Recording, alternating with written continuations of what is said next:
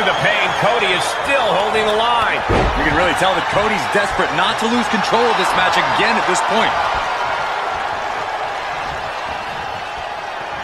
Uh-oh. It looks like a power set. This will end well.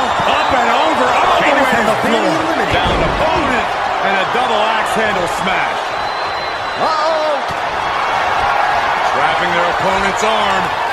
He gets there a few seconds longer, and this match would have been over. Release German! He's feeling the effects of...